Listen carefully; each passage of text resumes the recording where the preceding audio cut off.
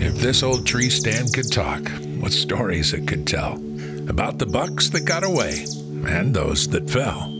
It saw Grandpa kill the Big Ten back in 74. It's where he last hunted before getting too old to go anymore.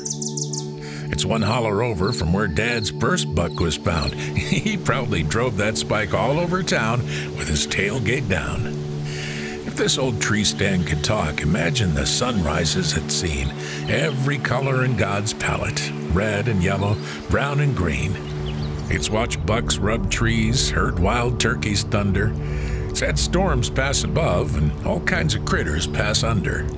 If this old tree stand could talk, it'd tell you about Dad crying in its seat. After hearing the news, my mom was expecting me.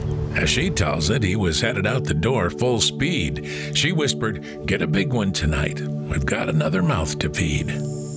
I smile about that and gaze at my daughter as we sit in the woods with the rifle my pop bought her. If this old tree stand could talk, a patriot it would be, proud to stand tall in the land of the free. It's been here while wars were fought far away, providing freedom for my family to enjoy opening day.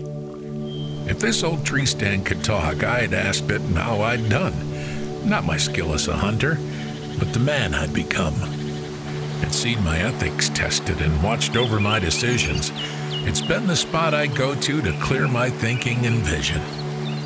If this old tree stand could talk, my prayer is that it would say, You're an honorable deer hunter, like those who showed you the way.